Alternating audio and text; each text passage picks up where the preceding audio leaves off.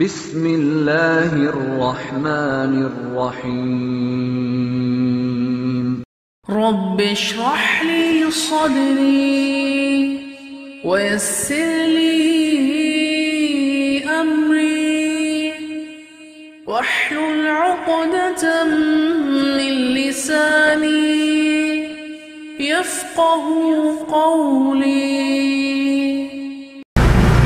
பிஸ்மில்லாஹ் ரஹ்மான் ரஹீம் அல்ஹம்துல்லா வசலாத்து வசலாம் அலா ரசூல் இல்லா மல்லா நபி அபாத் அம்மாபாத் அன்புக்கினிய சகோதரர்களே அல் அத்தியாயங்களை அறிந்து கொள்வோம் என்ற தலைப்பின் கீழால் அல்குர்வானுடைய இரண்டாவது அத்தியாயம் மிக நீண்ட அத்தியாயமாகிய அல் பக்கரா என்ற இந்த அத்தியாயத்தை பற்றி நாங்கள் அறிந்து கொள்வோம். அன்புக்குரிய சகோதரர்களே இந்த அத்தியாயத்தினுடைய பெயர் அல் பக்கரா என்று இடம்பெற்றிருக்கின்றது. இந்த அத்தியாயத்திலே அல் பக்கரா என்று சொன்னால் அதாவது பசு மாடு மாடு என்று அர்த்தமாக இருக்கின்றது. பக்கரா என்று சொன்னால் மாடு என்று அர்த்தமாக இருக்கின்றது. ஏன் இந்த அத்தியாயத்துக்கு மாடு என்று பேர் வந்தது என்று சொன்னால் இந்த அத்தியாயத்தில் மாடு மாட்டினுடைய சம்பவத்தை மாடு தொடர்பான ஒரு சம்பவத்தை எல்லாம் வல்ல இறைவன் சொல்லி காட்டுகின்றான். அந்த சம்பவத்துக்கு வருவதற்கு முன்னால் அன்புக்குரிய சகோதரர்களை இந்த அத்தியாயத்தை பொறுத்தவரையில இருநூத்தி எண்பத்தி ஆறு வசனங்களை கொண்ட மிக நீண்ட ஒரு அத்தியாயம். இருநூத்தி எண்பத்தி ஆறு வசனங்களை கொண்டு மிக நீண்ட ஒரு அத்தியாயம். இந்த அத்தியாயத்துடைய ஆரம்பத்திலே எப்படி ஆரம்பிக்கும் என்று சொன்னால் அலிஃப் லாம் மீம். அலிஃப் என்று சொன்னால் அரபி இலக்கு அரபி எழுத்து வந்து முதலாவது எழுத்து. நாங்க தமிழ்ல எப்படி ஆனா சொல்லுவோமா ஆனா அத மாதிரி அரபியிலே முதலாவது எழுத்து அலிஃப். அப்ப அலிஃப் லாம் என்று சொல்றது ஒரு எழுத்து மீம் என்று சொல்றது எழுத்து. இந்த மூன்று எழுத்துக்களையும் இறைவன் கொண்டு ஆரம்பிக்கின்றான். இப்படி ஆரம்பித்த மூலமாக இறைவன் என்ன சொல்லுகின்றான் என்று சொன்னால் இந்த அரபு எழுத்துக்களிலே நீங்கள் பேசக்கூடிய மொழியிலே நாங்கள் இந்த குர்வானை இறக்கியிருக்கிறோம். அரபு எழுத்தினால்தான் இந்த குருவான் உங்களுக்கு இதை ஒரு ஒரு ஒரு எச்சரி அதாவது ஒரு உங்களிடத்தில் ஒரு சவாலாக நாங்கள் இதனை வைக்கின்றோம். எப்படி சவால்? நாங்கள் அனுப்பியதை போன்ற இந்த அல் குர்ஆனை போன்ற ஒன்றை உங்களால் முடியும் என்று சொன்னால் கொண்டு வாருங்கள். இது வந்து இந்த அல்குர்வான் நீங்கள் நம்பாமல் இந்த அல்குர்வான் வந்து மனிதர்களால் உருவாக்கப்பட்டது முகம்மதுடைய சொந்த உருவாக்கம் என்று நீங்கள் இந்த அல்குர்வானை பொய்ப்பிப்பீர்கள் என்று சொன்னால் நீங்கள் உங்களால் முடியும் என்று சொன்னால் இந்த மாதிரி ஒன்று கொண்டு வந்து காட்டுங்க என்பதை ஒரு சவாலாக சொல்லும் முகமாகத்தான் எல்லாம் வல்ல இறைவன் இந்த அத்தியாயத்துடைய ஆரம்பத்திலே அலிஃப் லாம் மீம் என்று சொல்லி ஆரம்பிப்பதை நாங்கள் பார்க்கின்றோம். அன்புக்குரிய சகோதர்களை இந்த அத்தியாயத்துடைய இரண்டாவது வசனத்திலே இறைவன் என்ன சொல்கின்றான்? இந்த அத்தியாயம் என்ன என்று சொல்கின்றான். நாங்கள் இந்த இந்த இந்த தலைப்பின் ஏன் பேச வேண்டும் என்று ஒரு சின்ன ஒரு அறிமுகத்தை நாங்கள் செய்தோம். அதிலே சொல்லப்பட வேண்டிய ஒரு முதல் முக்கியமான வசனத்தை இறைவன் சொல்லுகின்றான். இந்த பிரதானமான அத்தியாயம் அல் குவானுடைய இரண்டாவது அத்தியாயத்துடைய இரண்டாவது வசனத்திலே இரண்டாவது அத்தியாயம் இரண்டாவது வசனத்தில் இறைவன் சொல்லுகின்றான் லாலிக்கல் கிதாப் இந்த வேதம் இருக்கின்றது இந்த வேதம் வந்து லா ரைப இதுல எந்த ஒரு சந்தேகமும் கிடையாது. இதுல நீங்கள் சந்தேகிக்கக்கூடிய அளவுக்கு எதுவுமே கிடையாது இது வந்து எல்லாம் வல்ல இறைவனிடமிருந்து இந்த மனித சமுதாயத்துக்கு இந்த அகிலத்தாருக்கு அருட்கொடையாக இந்த அகிலத்தார் நேர்வழி பெற வேண்டும் என்பதற்காக இந்த அகிலத்தாருடைய வெற்றிக்காக அனுப்பப்பட்ட மிகப்பெரிய ஒரு வேதம் என்பதனை எல்லாம் வல்ல இறைவன் சொல்லுகின்றான். யாருக்கு இது நேர்வழி காட்டும் என்று சொன்னால் நாங்கள் பார்த்தோம். அல் முதலாவது அத்தியாயத்திலே நாங்கள் பார்த்தோம். நேர்வழி என்பது இறைவனிடமிருந்து வர- வரக்கூடியது. இறைவனிடத்தில் தான் நாங்கள் நேர்வழியை கேட்க வேண்டும். இஹ்தின சிராத்தல் முஸ்தகிம் யா எங்களுக்கு நேர்வழியை காட்டுவாயாக என்று நாங்கள் கேட்க வேண்டும் என்பதை பார்த்தோம். அதனை இறைவன் இங்கே திருப்பி சொல்கின்றான். இது யாருக்கு நேர்வழி செலுத்தும் என்று சொன்னால் ஹுதல்லில் முத்தகீன். யார் இறைவனை பயப்படுகிறார்களோ இறைவனை அஞ்சி வாழுகின்றார்களோ இறைவனுக்கு நெருக்கமாக தனது வாழ்க்கை அமைத்துக் கொள்கிறார்களோ அவர்களுக்கு இது நேர்வழி காட்டும். இறைவனுக்கு விருப்பமானவர்கள் இறைவனுக்கு இறைவனை அஞ்சு வாழக்கூடியவர்கள் அவர்களுக்கு தான் இது நேர்வழி காட்டும் என்பதனை எல்லாம் வல்ல இறைவன் இந்த அத்தியாயத்திலே சொல்லி காட்டுகின்றான். தொடர்ந்து இந்த அத்தியாயத்தில அப்படி இறைவனுடைய நல்லடியார்கள் இறைவனுடைய இறைவனுடைய அன்புக்குரியவர்கள் இறைவனை அஞ்சு வாழ்வுடைய பண்புகளை சொல்லுகின்றான். அடுத்தபடியாக இறைவனை மறுக்கக்கூடியவர்களை பற்றி இறைவன் சொல்லுகின்றான். இறைவனை மறுத்து வாழக்கூடிய அந்த இறை நிராகரிப்பாளர்களுடைய பண்புகளை இறைவன் சொல்லுகின்றான். அதற்கு அடுத்தபடியாக மனிதர்களுடைய இரண்டு வகைகளை சொல்லிவிட்டு மனிதர்களிலே இன்றைக்கு சமுதாயத்தில் இருப்பதை போன்று சாதிகளை எல்லாம் இஸ்லாம் ஒருபோதும் சொல்லவில்லை. சாதிகள் பேதங்கள் அதாவது உயர்ந்த சாதி தாழ்ந்த சாதி இதெல்லாம் இஸ்லாத்திலே கிடையாது. இஸ்லாத்தில் இருப்பது வந்து மூன்றே மூன்று சாதி தான் மூன்றே மூன்று நிலையில் தான் மனிதனை இறைவன் பிரிக்கின்றான் ஒன்று வந்து இறைவனை நம்பிக்கை கொண்ட கொண்டவர்கள் இறைவனுடைய நல்லடியார்கள் இறைவனை அஞ்சு வாழக்கூடியவர்கள் இரண்டாம் பிரிவினர் வந்து இறைவனை நிராகரிக்கக்கூடியவர்கள். இறைவனை நிராகரிக்கக்கூடிய பண்புகளை சொல்கின்றான். மூன்றாவது பிரிவினராகிய நயவஞ்சகர்களை பற்றியும் இந்த அத்தியாயத்தில் சொல்கின்றான். நயவஞ்சகர்கள். இவர்கள் யாரு? இவர்கள் வந்து இறைவனை அஞ்சு வாழ்பவர்களும் கிடையாது. இறைவனை நிராகரிக்கக்கூடியவர்களும் கிடையாது. இந்த ரெண்டு தரப்புக்கு மத்தியிலும் இருந்து கொண்டு அவங்கள்ட்ட போனா அவங்க மாறுகிறது இவங்கள்ட்ட போனா இவங்க மாறுகிறது.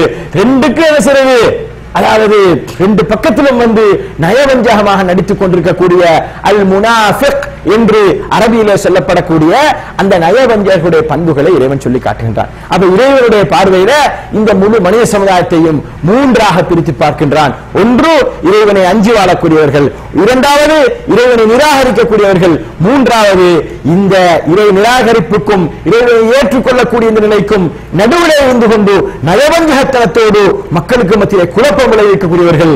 இவர்கள் எப்படிப்பட்டவர்கள் என்று சொன்னால் இறைவனை நிராகரிக்கக்கூடியவர்களை விட மிக மோசமானவர்கள் என்பதை இறைவன் சொல்லி காட்டுகிறான் அப்படி இந்த அல் குர்வானுடைய இரண்டாவது அத்தியாயமாகிய இந்த சூரா அல் பக்கராவில மனிதர்களுக்கு தேவையான பல விஷயங்களை இறைவன் சொல்லி காட்டுகின்றான் இந்த சூரா அல் பக்ரானுடைய இருபத்தி இரண்டாவது வசனத்திலே எல்லாம் வல்ல இறைவன் சொல்லு இருபத்தி ஓராவது வசனத்தில் எல்லாம் வல்ல இறைவன் சொல்லும் பொழுது யா ஐயுஹன்னாஸ் சூரா அல் பக்ரா இரண்டாவது அத்தியாயத்தினுடைய இருபத்தி ஓராம் வசனம் சொல்லும் பொழுது யா ஐயுஹன்னாஸ் மனிதர்களே என்று அழைக்கின்றான். மனிதர்களுடைய இறைவன் அழைக்கின்றான் அன்புக்குரியவர்களே மனிதர்களை படைத்து பரிபாலிக்கக்கூடிய எங்களது இறைவன் உரிமையோடு அழைக்கின்றான். என்று இப்படி அழைக்கின்றான் யா ஐயுஹன்னாஸ். மக்களே மனிதர்களே என்று அழைத்து ரப்பக்கும். உங்களது ரப்பை உங்களது இறைவனை உங்களது இறைச்சிகளை நீங்கள் வணங்குங்கள்.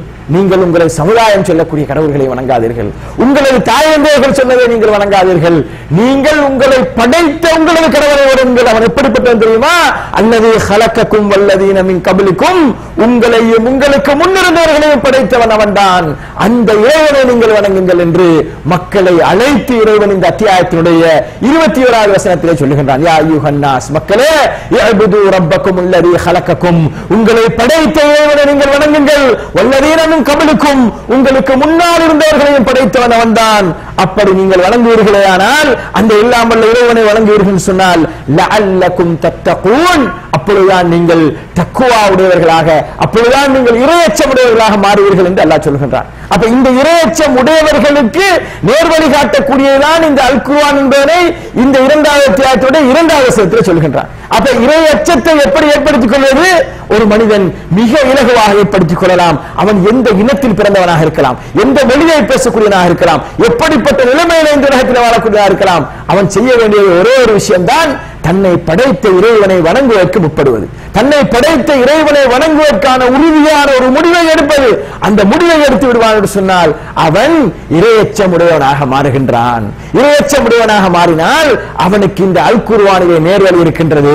அல் குர்ஆன் அவனுக்கு நேர்வழி காட்டக்கூடியதாக இருக்கின்றது என்று எல்லாம் வல்ல இறைவன் சொல்லி காட்டினான் இப்படி இந்த சூரா அல் பக்கராவை நீங்கள் புரட்டி பார்ப்பீர்கள் என்று சொன்னால் ஒவ்வொரு பக்கத்திலும் ஒவ்வொரு வசனத்திலும் பல்வேறுபட்ட மனித வாழ்க்கைக்கு தேவையான பல அம்சங்களை இது சொல்லி காட்டுகின்றது அன்புக்குரியவர்களே. இதிலே வந்து திருமண வாழ்க்கையை பற்றி பேசுகின்றான் குழந்தை வளர்ப்பை பற்றி பேசுகின்றான் சக மனிதனோடு கொடுக்கல் வாங்கல் செய்வதை பற்றி பேசுகின்றான் ஒரு மனிதனுக்கு உதவி செய்வதை பற்றி பேசுகின்றான் இன்னொரு என்ன மனித சமுதாயத்தவர்கள் எங்களுக்கு முன்னால் வாழ்ந்த மனிதர்கள் மனு இஸ்ரேலர்கள் இப்படிப்பட்ட சமுதாயங்களுடைய வரலாறுகளை பேசுகின்றான். இப்படி ஏகப்பட்ட விஷயங்களை பேசக்கூடிய இந்த அத்தியாயத்துக்கு ஏன் அல் பக்கரா மாடு என்று பெயரை வைத்தான். அது மிகப்பெரிய ஒரு கேள்வியா இல்லையா? ஏன் இந்த அத்தியாயத்துக்கு மாடு என்று பெயரை வைத்தான் என்று சொன்னால் எங்களுக்கு முன்னால் வாழ்ந்த ஒரு சமுதாயம் பனு இஸ்ரவேலர்கள். இன்றைக்கு இஸ்ரேல் இஸ்ரா இஸ்ராயல் என்று சொல்லப்படக்கூடிய இஸ்ரேல் என்று சொல்லக்கூடிய அந்த நாட்டில் இருக்கக்கூடிய யூதர்கள் இருக்கிறார்களே? அந்த சமுதாயத்தவர்கள். அவருடைய மூதாதையர்கள் அவர்கள் வாழ்ந்த நேரத்தில் அவர்களுக்கு மூசா என்று சொல்லப்படக்கூடிய நபி அவர்களுக்கு நபியாக அனுப்பப்பட்டார். அந்த நபி அவர்களுக்கு அனுப்பப்பட்ட நேரத்தில் அந்த மக்களுக்கு அந்த மக்களின் மத்தியில் இருந்த ஒரு பாவ செயல் நடைபெறுகின்றது. அதாவது ஒருவரை கொலை ஒருவரை கொலை செய்து விடுகிறார்கள். கொலை செய்துவிட்டு அவர்கள் என்ன செய்கிறார்கள்? கொலை குற்றத்தையும் தப்பித்துக் கொள்ள முயற்சிக்கிறார்கள். அவர்கள் செய்வதை செஞ்சுட்டு என்ன செய்வாங்க யாரையாவது காட்டிட்டு அவங்க தப்பிக்கிறதுக்கு முயற்சிப்பாங்க. இன்னைக்கு வரைக்கும் அதான் செய்றாங்க. அவங்க இந்த உலகத்துடைய எல்லா செயற்பாடுகளையும் திட்டமிட்டு செய்துவிட்டு அவர்கள் நல்ல பிள்ளைகளாக மாறுவதற்கு முயற்சிப்பார்கள். அப்ப இதே மாதிரியான ஒரு செயற்பாட்டு என்ன செய்யறாங்க இவங்க வந்து செய்யறாங்க இப்படி செய்த நேரத்தில் வந்து இல்லாமல் இறைவன் என்ன செய்கின்றான் சொன்னால் உண்மையான கொலையாளி யார்? கொலை செய்தவன் யார்? என்பதனை அந்த நபி அந்த மக்களுக்கு சொல்லும் முகமாக எல்லாம் வல்ல இறைவன் அவர்களுக்கு ஒரு கட்டளை எடுகின்றான் எப்படி என்று சொன்னால் அவர்கள் அவர்களுக்கு எல்லாம் வல்ல இறைவன் சொல்லுகின்றான் வந்து அவர்கள் என்ன செய்ய வேண்டும்? வயது கால மூசாலி கௌமிகி இன்னவுலாக யாமுருக்கும் அந்த அதாவது நீங்கள் செய்த இந்த கொலை குற்றத்தினுடைய உண்மையான சூத்திரதாரி யார் என்று அறிந்து கொள்வதற்கு நீங்கள் என்ன செய்ய வேண்டும் தெரியுமா? நீங்கள் ஒரு மாட்டை அறுக்க வேண்டும். ஒரு பசு மாட்டை நீங்கள் அறுக்க வேண்டும். அறுத்து அந்த மாட்டுடைய இறைச்சியை எடுத்து கொலை செய்யப்பட்டு கிடக்கிறாரே. கொலையா கொலை செய்யப்பட்டு கிடக்கிறார் அந்த மனிதர்? அந்த மனிதருடைய உடம்பிலே நீங்கள் அடிக்க வேண்டும். அப்படி அடித்தால் அவர் உயிர் பெற்று எழுந்து என்ன செய்வார்? அவர் சொல்லுவார் தன்னை கொலை செய்தவன் யாருன்னு சொல்லி. இப்ப யாருன்னு சொல்ல தெரியாத. மக்கள் எல்லோரும் நாங்களே நாங்கள் சொல்றாங்களே. அப்ப உண்மையான கொலையாளியை கொலை செய்யப்பட்டவர் எழுந்து சொல்லிவிட்டு மீண்டும் மரணித்து விடுவார். அப்ப இதற்கான ஒரு வழியாக எல்லாம் வல்ல இறைவன் அவர்களுடைய நபியாக இருந்த மூசா நபி அவர்களுக்கு இந்த கட்டளை விடுகின்றான். அப்ப அவர்கள் என்ன சொல்கிறார்கள்? அந்த மக்களை பார்த்து மக்களே நீங்க என்ன செய்யுங்கள்? ஒரு பசுமாட்டை அருங்கள் அறுத்து நீங்கள் அந்த இறைச்சியை எடுத்து இந்த கொலை செய்யப்பட்ட மனிதர்களை நீங்கள் அடித்தால் அவர் உண்மையான கொலையாளி யாருன்னு சொல்லுவார். என்று சொன்ன நேரத்தில் இவர்கள் என்ன செய்கிறார்கள்? அந்த இறைவனுடைய கட்டளையை செய்யாமல் இருப்பதற்கு இந்த உண்மையான கொலையாளியை தெரிந்து கொள்ள தெரிந்து கொள்ளாமல் இருக்க வேண்டும் மறைக்க வேண்டும் என்பதற்காக வேண்டி இவர்கள் அந்த நபியிடத்திலே அடுக்கடுக்கான கேள்விகளை கேட்கிறார்கள். எப்படிப்பட்ட மாடு? என்ன நிறத்திலான மாடு? அது எப்படி இருக்கும்? அவருடைய அளவு எப்படி? அப்படி இருக்குமா? இப்படி இருக்குமா? என்று எத்தனையோ கேள்விகளை கேட்டு என்ன செய்கிறார்கள்? பரிகாசம் செய்ய முயற்சிக்கிறார்கள்.